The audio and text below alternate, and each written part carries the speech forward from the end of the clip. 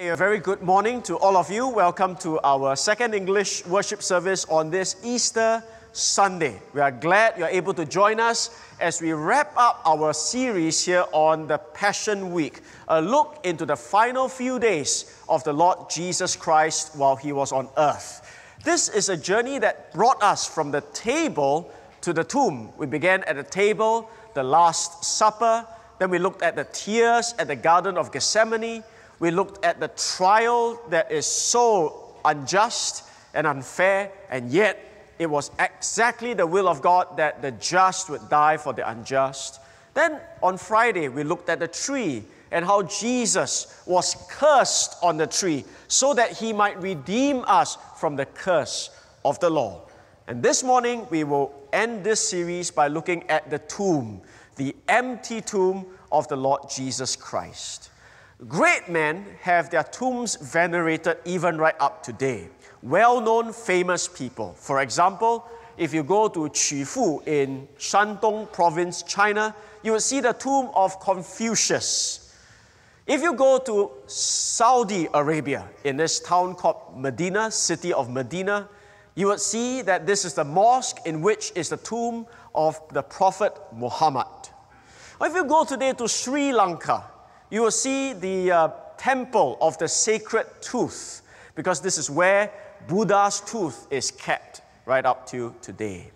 How about Jesus? Well, Jesus has his tomb. But the location of his tomb is unknown today. We don't really know where it is exactly, except that it is outside the city of Jerusalem. It's probably in one of the hills wherein is a cave and where there's a stone previously wrote over it. But what is remarkable and unique about the tomb of the Lord Jesus Christ is that it is absolutely empty. He is not there. This empty tomb is the foundation, by the way, of the Christian life. Because if he is still in the tomb, then he is a dead man and he is powerless to save. But because his tomb is empty, he is risen. And now, Christians, we have a supreme hope and confidence in his victory over sin. This empty tomb is witnessed by many people. This empty tomb is a testimony to the reality of the Christian faith. See, what we believe in today is not a myth, it's not a legend, not a fairy tale, the resurrection of Jesus Christ is a rock solid fact and reality. And today we're going to look at the Gospels Matthew, Mark, Luke, and John that gives us various accounts of the various witnesses that testify and prove the reality of the empty tomb. Now, I spent quite a bit of time actually reconciling or giving a harmonization of the four Gospels with regards to the resurrection or the empty tomb of the Lord Jesus Christ. You might want to take down the references here, go back by yourself, and then do your own research on the four Gospels and how it comes to this sequence of events. But here it begins.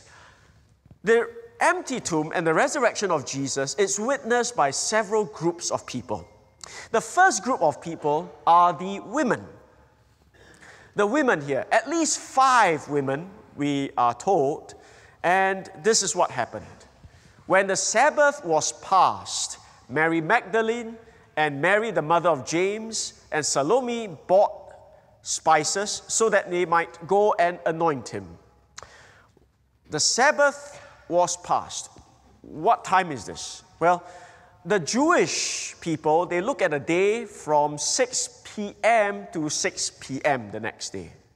So the Sabbath ends on Saturday, 6 p.m. It's not like how we think of it. We think it starts 12 midnight. No, they end a bit earlier, 6 p.m. So it is likely on Saturday night, immediately after the Sabbath, because during Sabbath you can buy things, you can work. That's the law for them. So right after 6 p.m., they probably went out to buy spices to anoint Jesus, the body of Jesus. See, Jesus was left for dead, as it were, on Friday late afternoon. And they probably have no time to properly treat and embalm the body of Jesus. And these ladies, they love Jesus. Even after he dies, they want to take care of his body. Such was their devotion. So on Saturday night, after the Sabbath is over, they buy the spices, ready to go the very next morning. So in Mark 16, verse 2, very early on, the first day of the week, this is Sunday morning, when the sun had risen, they went to the tomb. Now, this is where we expand the number of women. Mark tells us there were three, but actually, the number of people or number of women who went to the tomb were more than three. Luke tells us that they here probably refers to Mary Magdalene, Joanna, Mary, the mother of James, and other women. So at least two women. So together you have a group of at least five women who early in the morning with their spices ready would go to prepare to embalm the body of Jesus Christ. Now, when they went there, they had a question in their mind How are we going to get inside the tomb? Because they thought to themselves, Who will roll away the stone for us from the entrance of the tomb? I mean, this is. This is too big an obstacle for us. So they were wondering, but never mind. They were so dedicated and devoted they will go. Of course, unknown to them, the night before, something miraculous happened. Matthew tells us, Behold, there was a great earthquake, for an angel of the Lord descended from heaven, came and rolled back the stone and sat on it. So their fears were, in a sense, unfounded. They were still thinking that as they get there, the entrance would be blocked. So when they got there and saw that the stone was moved aside, they must be surprised. They must be shocked. And one of them, one of the five ladies, thought the worst. She thought that someone must have stolen Jesus, moved away the rock, went in, got the body, and ran off. And so she was upset, she was concerned, and she is Mary Magdalene. John 20, verse 2 tells us Mary Magdalene, upon seeing the stone rolled away, jumped to conclusion, if I may say, assumed that the body was stolen, and so she ran and went to Simon Peter and the other disciple whom Jesus loved. So she ran to Peter and John and said to Peter and John, They have taken the Lord out of the tomb, and we do not know where they have laid him. So imagine this five of them going in the early in the morning, seeing the stone rolled away. Mary, without waiting, without looking in, she just ran off to tell Peter and John, the two key disciples of Jesus, the rest of the women stayed behind. And the rest of the, the women now, they found the stone rolled away from the tomb, but they, when they went in, they did not find the body of the Lord Jesus. So they did a bit of CSI. They said, uh, something's wrong. I must go in and check, make sure there's really that he's not here. So she went, they went in, and when they were perplexed about what's happening, behold, look, two men stood by them in dazzling apparel, brightness before them. And the angel said to the women, Do not be afraid, for I know that you seek Jesus who was crucified. And as they were frightened and bowed their faces to the ground, the man said to them, Why do you seek the living among the dead? What a great question. Don't you know Jesus is alive? Why do you seek the living among the dead? He is not here, but has risen. Remember how he told you while he was still in Galilee that the Son of Man must be delivered into the hands of sinful men, be crucified, and on the third day rise. Don't you remember this, ladies? Now go, tell his disciples and Peter that he is going before you to Galilee. There you will see him just as he told you. The angels were saying, in essence, God had already said this, Jesus had already told you this. He is not dead, he is alive. But what I like is this phrase tell his disciples and Peter. there's a warmth and consideration for Peter. I mean, Peter is the one who denied the Lord three times. And the angel, in effect, in effect, is saying, Hey, we have not forgotten Peter. God has not forsaken Peter. Go tell him Jesus is alive. So, the group, first group of people who saw the empty tomb were the uh, women. Now, the second group would be Peter and John. Now, how did Peter and John know? Well, very simple. Mary had run ahead to tell Peter and John. So now Peter and John comes to see for themselves. So Peter went out with the other disciple and they were going toward the tomb. Both of them were running together, but the other disciple outran Peter and reached the tomb first. I've always wondered why John talks about this. Why does he say, I ran faster than Peter? A bit howling, don't you think? John, I'm not sure if it's the younger man, older man, but well, both of them ran and uh, I, I, I came ahead of Peter. Ha ha ha. And John, now stooping to look in, saw the linen clothes lying there, but he did not go in. So John was satisfied just to take a, a peek into the tomb, seeing the linen clothes, stayed out. But Simon Peter, huffing and puffing probably, wow, John, you can really run, huh? following him, went into the tomb.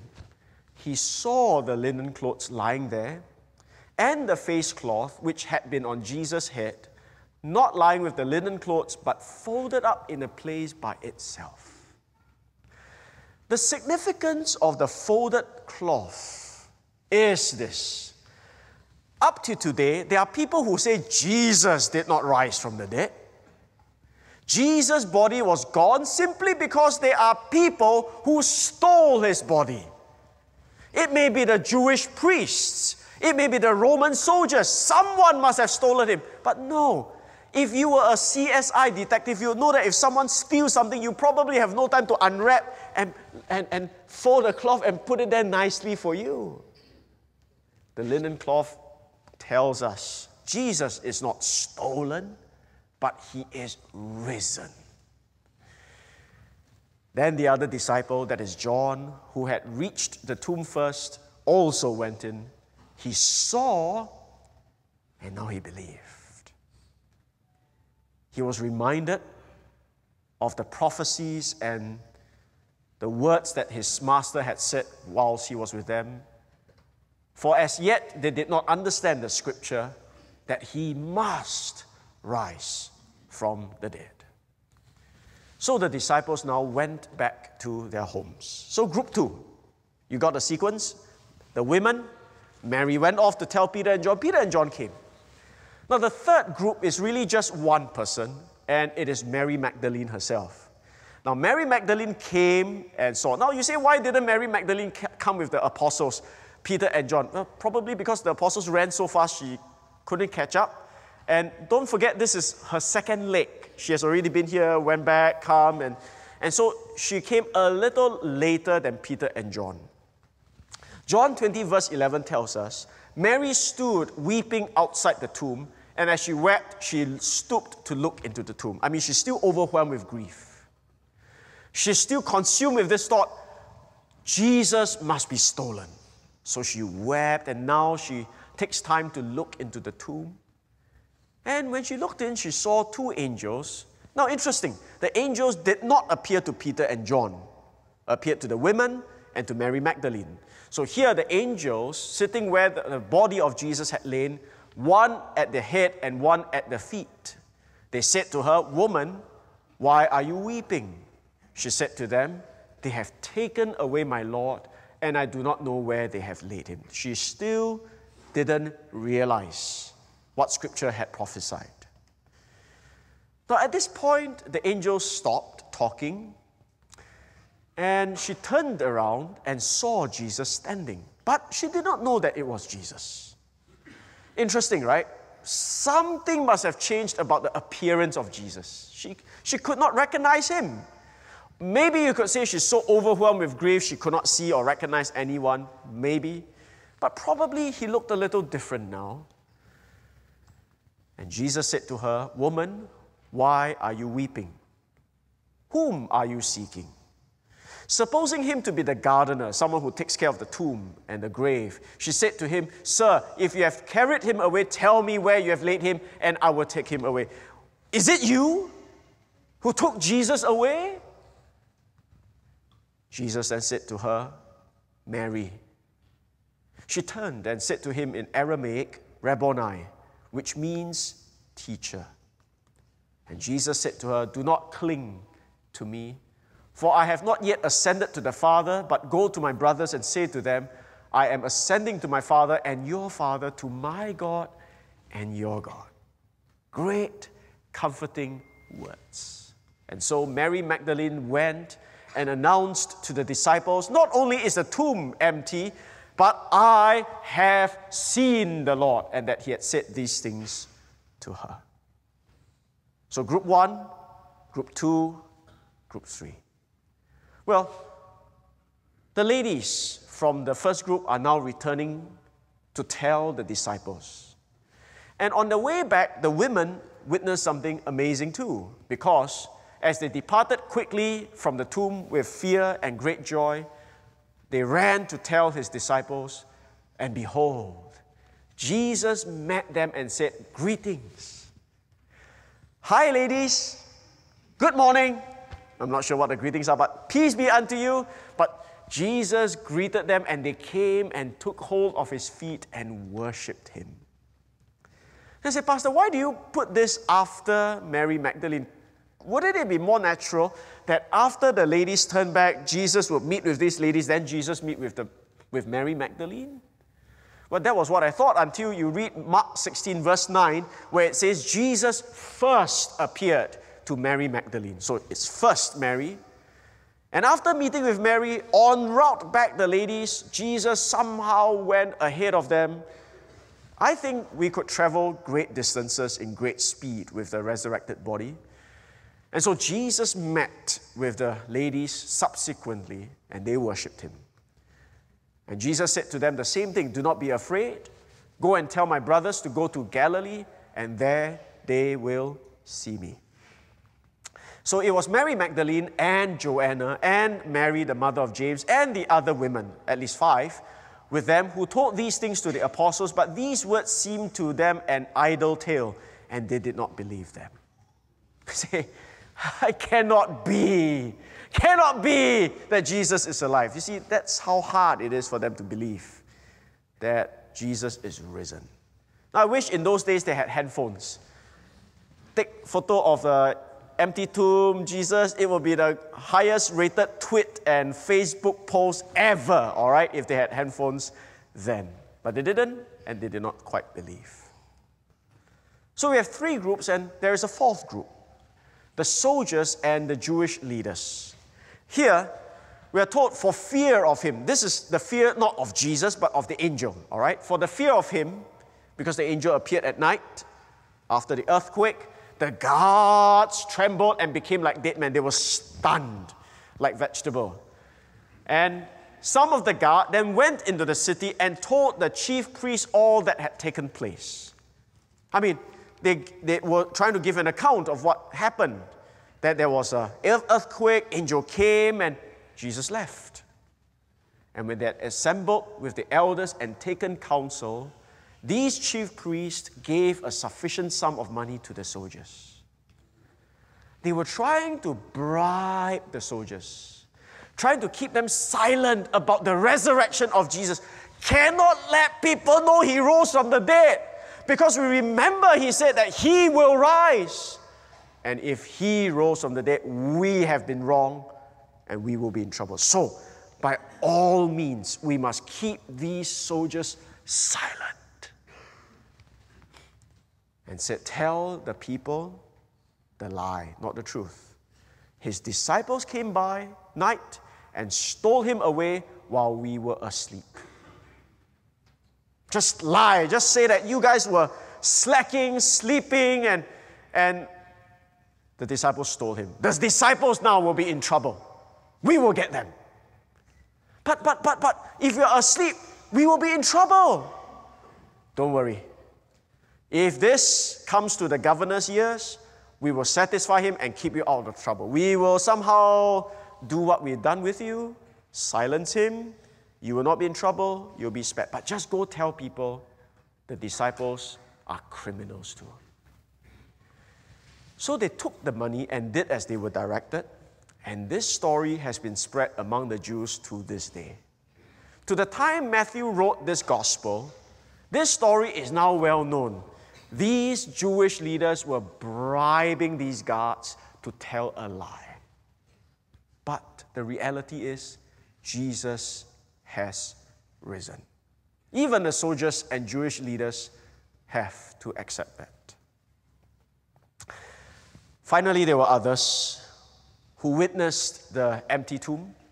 In Luke 24, we are told that on that very day, two of them were going to a village named Emmaus, about seven miles from Jerusalem. And they said, Some of those who were with us went to the tomb and found it just as the women had said, but him they did not see. So obviously, on the very same day, the news have spread, and there were others who, on hearing this, also sped to the tomb and saw the empty tomb. And the fact is this account after account, story after story, group after group, they came to the empty tomb of Jesus and could say, He is not here, but He has risen. Nobody stole him, his clothes were nicely folded, he rose just as he said.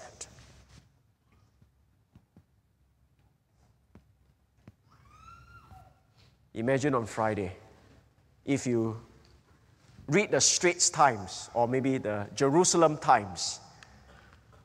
It would have read in the obituary section Jesus Christ, 33, a carpenter from Nazareth, born of Joseph and Mary, crucified by order of Pontius Pilate for treason against Caesar. Saturday will be all the feature newspaper reports on how this man deserved to die. He's not the Son of God. He's a liar. He has cheated people. He's, he's a terrible guy. And the disciples will be absolutely overwhelmed. They will be slammed on social media. Everybody will be laughing at them. But on Sunday, as you switch on the television, of course, I'm kidding, but as you switch on the television, you open your news websites, flashing across your screen will be breaking news. Channel News Asia or Channel News Jerusalem. Memorial services have been cancelled. Please do not send any flowers. Jesus Christ is risen from the dead.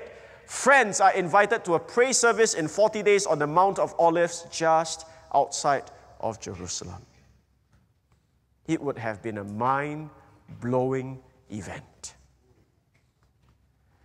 This is exactly what Jesus had said. Exactly what he had said. Destroy this temple, and in three days I will raise it up. An evil and adulterous generation seeks for a sign, but no sign will be given to it except the sign of the prophet Jonah. For just as Jonah was three days and three nights in the belly of the great fish, so will the Son of Man be three days and three nights in the heart of the earth. Jesus is risen just as he had prophesied. You see, this is foundational to the Christian faith. Now, why do we spend so much time looking at the various groups? Because God is desiring to show and to prove that the resurrection of Christ is not a fairy tale or a myth or a legend. It is a verifiable fact testified by good witnesses, a great number of witnesses. In fact, in 1 Corinthians 15, we are told that there are at least 512 witnesses, if you count them, probably a lot more. But 500 over have seen the resurrected Christ. And this is foundational because if Christ has not been raised, then what I'm doing here today is absolutely a waste of time. Why you're here this morning is absolutely a waste of time. And your faith in Jesus for all these years is absolutely in vain if Christ be not raised.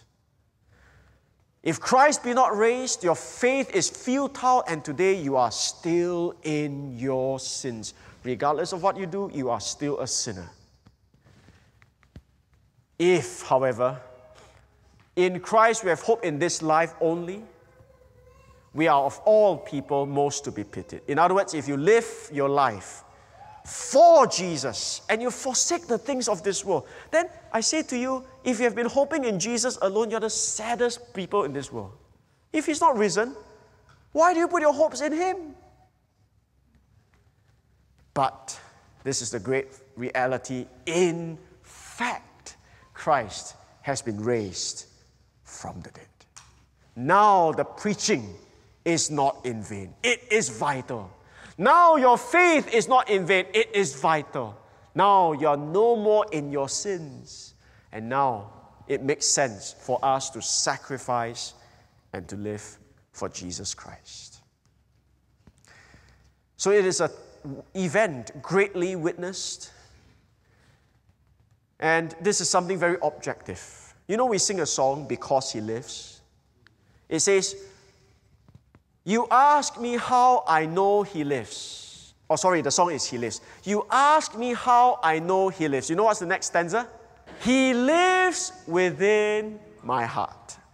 Now, this is how we tell people how do you know Jesus lives? Oh, because He lives within my heart. Now, that is true. Jesus lives within my heart. He has changed my life. There's no doubt. But there is more to that. You ask me how I know he lives, but Bible says so, and the witnesses say so, and the empty tombs say so. Facts, not just feelings. Objective realities, not subjective emotions. You ask me how I know he lives, the Bible says so. Of course, it doesn't rhyme in a song, lah. that's why I'm not there. But what the Gospels, the Word of God is saying is that there is an objectivity to this. And that is the key message in the book of Acts. In the early church, what were they preaching about?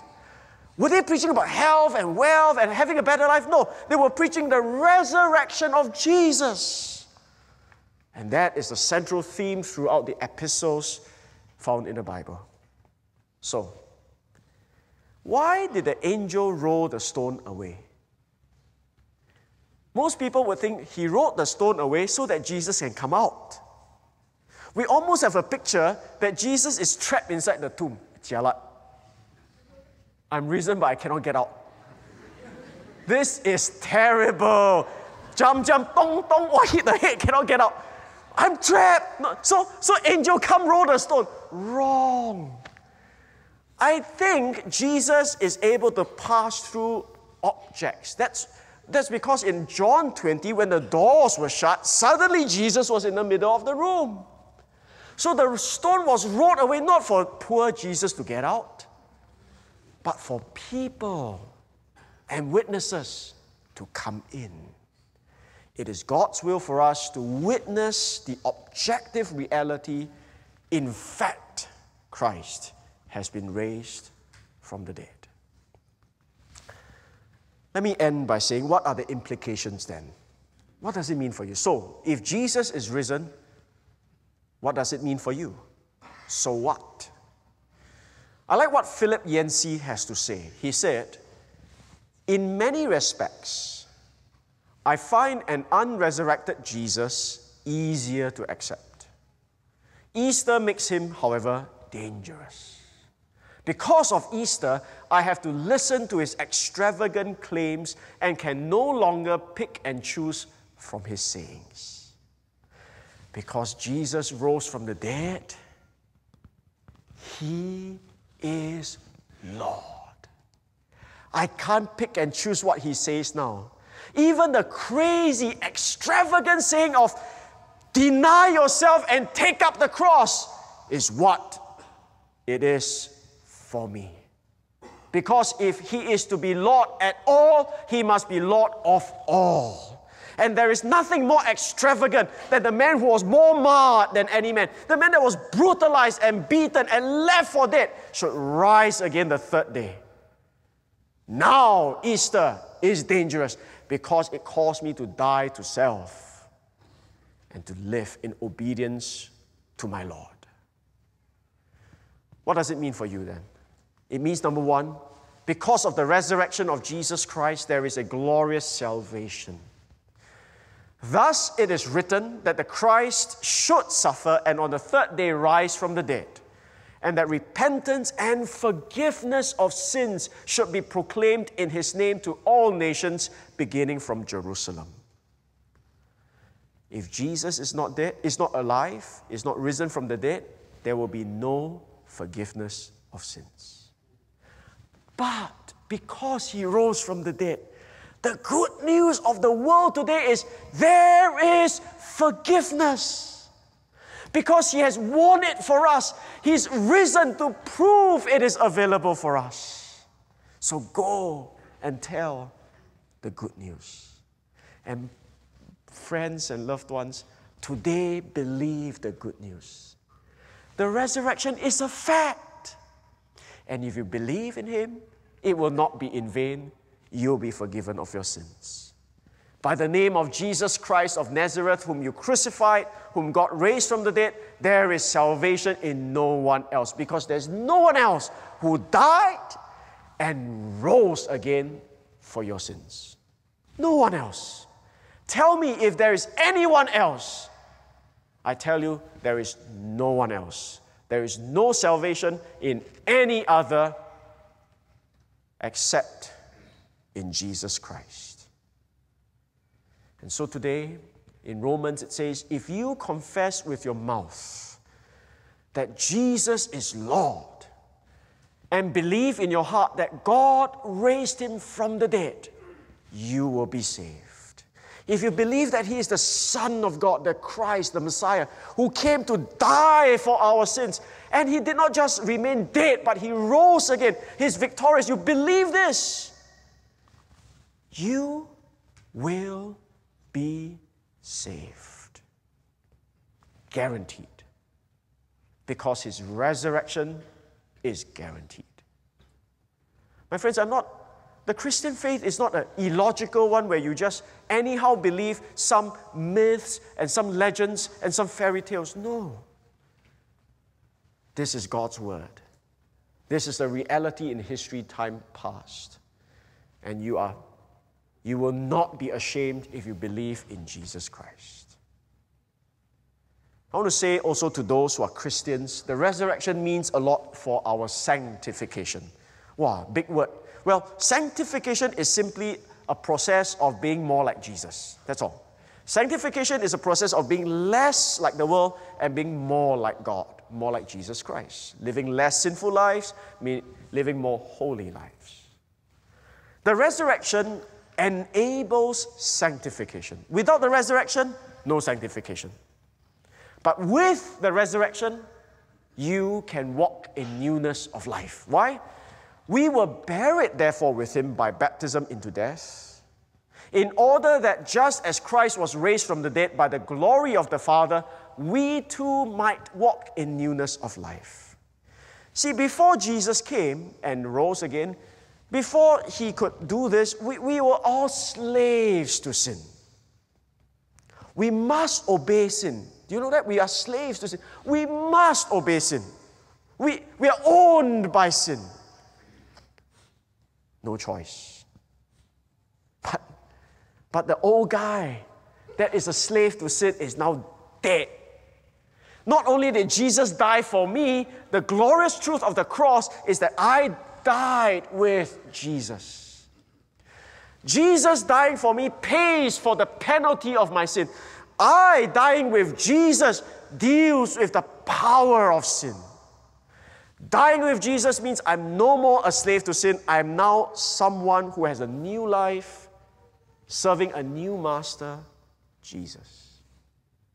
So when you meet with trials, when you meet with temptations, you're tempted to sin, you might feel, I have no choice but to sin. No, no, no, you don't have to anymore. Not that you won't sin, but you don't have to sin. You can trust in the indwelling spirit. You can believe that you have a new position and identity in life, and you don't have to walk in sin anymore. It's a positional truth. But this positional truth is vital if we are to live in holiness. Glorious reality, because of Christ, we now can have holiness, sanctification, newness of life. Thirdly, it's obvious. Because of Christ, we can go through sufferings. Because of his resurrection, we have hope. Hope even in the midst of the deepest pains. Hope even though it looks absolutely messy. You know why? Because Jesus was messy. His body was messy. It was ugly, it was brutal, it was marred, but there is the power of God to raise him to glorious life. Life looks messy, but you can be sure one day it will all make sense. Jesus himself said, I am the resurrection and the life. Whoever believes in me, though he die, yet shall he live. There's a glorious hope for all of us. Like I said, Friday and Saturday must be absolutely depressing days for the disciples. But on Sunday, dawn breaks not just outside, but within their heart. Now I understand. Now, with this hope that Jesus, this reality, Jesus is alive, I'm going to go into more sufferings. I'm going to preach the gospel. I'm going to suffer loss, but that's absolutely fine because Jesus is alive. Number four, if Jesus is risen from the dead, it allows me to live sacrificially. You see, if Jesus is not alive, you could not live sacrificially. Paul tells us, What do I gain if, humanly speaking, I fought with beasts at Ephesus? If the dead are not raised, let us eat and drink, for tomorrow we die. The logic is this if there is no resurrection, and we all die and we are, we are going to face a terrible eternity, then I say to you, the best thing for you to do today is just enjoy your life now. I mean, if there's no future, then enjoy your life now. Eat and drink and be merry. That's all you need to do. But if there is a resurrection to come and there is a glorious hope, then I will fight with the beasts I will go through my pains. I'll suffer the hardships. I'll give my life for the advancement of the gospel. My goal in life is not to eat and drink because tomorrow I live. Because of the resurrection, we will never lose. And therefore, I'm willing now to lose my life that I may find it. As such, the apostle argues in 1 Corinthians 15 Therefore, my beloved brethren, be steadfast, immovable, always abounding in the work of the Lord, knowing that in the Lord your labor is not in vain. Key word here is the word therefore. Everybody understands I need to serve, I need to work hard, but why? Therefore. The therefore links us to the resurrection to the glorious future because Jesus is alive. Therefore, serve, sacrifice. Wiersbe says Easter is the truth that turns a church from a museum into a ministry. Let me ask you are you a museum relic? Or are you a ministry servant? It is sad when we call ourselves a church following Jesus to wash feet, we, we just are satisfied to be pieces of display on Sunday mornings like a museum. What really gives us life? What would really spur each one of us to greater heights of ministry and sacrifice and service is Easter. Jesus is alive. Therefore, be steadfast, immovable, always abounding in the work of the Lord. May that be true for Gospel Light. And lastly, because of Easter, we are sent. Because Jesus is alive, he tells us, Go and be witnesses of these things. Because Jesus is alive, we are now, according to Matthew 28, to go and make disciples of all nations. I want to challenge gospel lighters this morning. All of us, you are faithfully coming to church. You faithfully give money for the advancement of the gospel. You faithfully say your prayers for your lunch, your dinner, your breakfast. Would you today also be faithful to the Great Commission? This is the deal.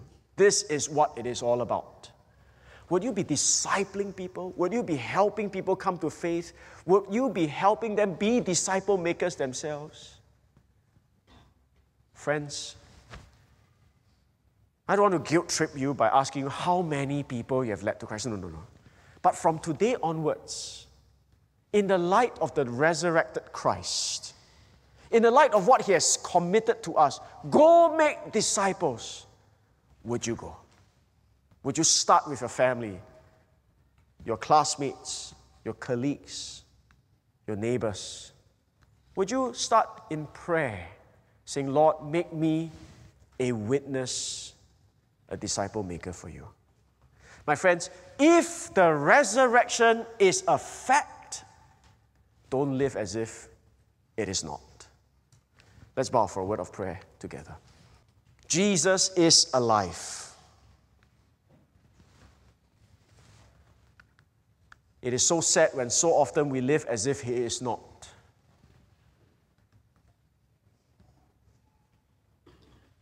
It is said when you come and you say, Who is this Jesus? He's just like any other religious leader. No, he is not. He's the only one who died and rose again from the dead. He's the only one who can set you free from sin. He's the only one who can offer to you genuine forgiveness. So, He calls you today to repent and believe in His name. Would you do that today? I urge you, I plead with you. It's for your soul because there is no other name by which you may be saved. Not Jason, not John, not Peter, not anyone, but Jesus Christ alone.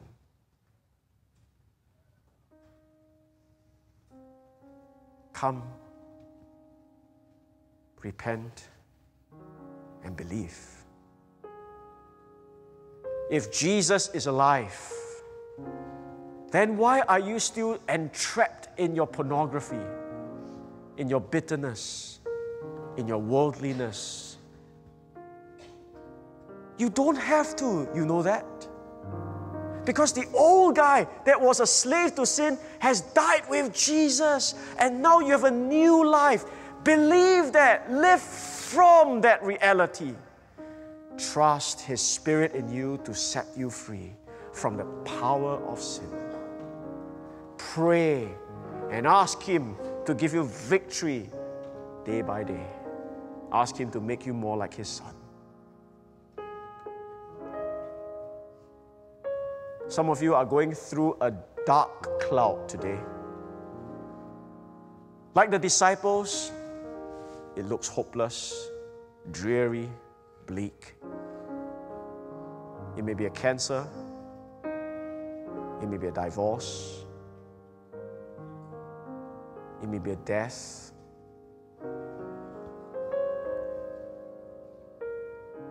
But the gloom of today will give way to the bright glory of a new dawn of life with Christ forevermore.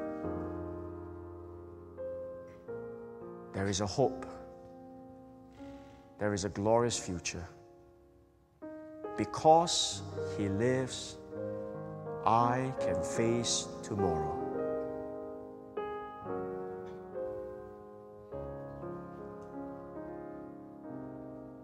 Are you living for the things of this world, trying to grab as many trinkets as you, as you can, as many cars, as many properties, as many stocks, as many titles, as many accolades? Are you trying to eat and drink and be merry? Oh, that's because you have forgotten the resurrection. That's, forgo- that's because you have forgotten that you are not a loser in this life when you give these things up for Jesus' sake. You've forgotten that if you follow Jesus, deny yourself, take up his cross, lose your life, you will really find it. It is no sacrifice, it is wisdom because He lives. Gospel lighters, the Great Commission is today given to you. It is given to me, yes. And I pray I'll be faithful to that. But it's given to you. Why? Because He is risen. If He is not risen, we have a terrible message to tell the world. A message that doesn't deserve anybody's hearing. He's a dead man. Why bother? But do you know today you believe a glorious message and you are a vessel of this glorious message, the gospel? Then go be his witnesses. Go pray, God, use me to bring someone to your salvation. Send me, equip me, help me. May this heartbeat for disciple making, evangelism, discipleship, disciple making, let this be your heart because that's on the resurrected Lord's heart. Here am I, send me. So, if the resurrection is a fact, don't live as if it is not. Father, bless your word today to the hearts of each one, whether it's for salvation, repentance, suffering, service, sacrifice, or fulfilling the Great Commission. Everything changes because your Son lives. May we not forget that. And on this Easter Sunday, may this bedrock of the Christian faith be clearly established in our hearts and minds. We thank you and we pray all this now in Jesus' name. Amen.